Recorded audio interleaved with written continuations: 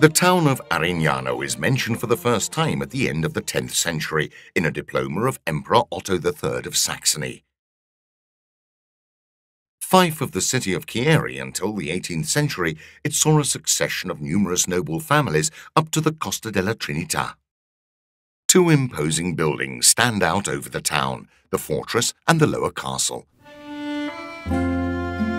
The fortress, also called the Upper Castle, already existed in 1047, but owes its present appearance to reconstruction at the end of the 13th century, carried out at the end of the war between Marquis William VII of Monferrato and the confederated communes of Asti and Chieri. Heavily damaged by the militias of Facino Cane during the 4th century, it was rebuilt a century later with walled curtains reinforced by square towers and a keep.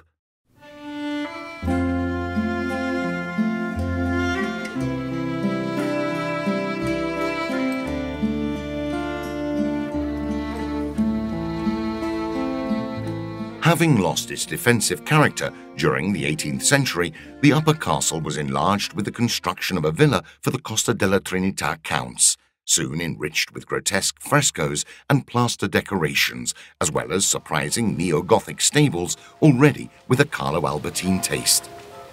The lower castle, on the other hand, was built by the Costa counts in the middle of the 15th century.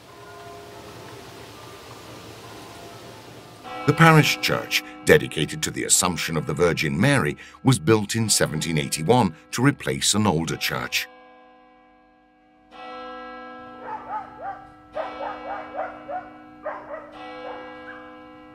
Of particular interest is Arignano Lake in the Cremera region. Built by Paolo Remigio Costa in 1839, engineer Benedetto Brunati's design had the tasks of irrigation, powering mills, and the production of ice. Today, after a century's abandon, it is a valued natural oasis.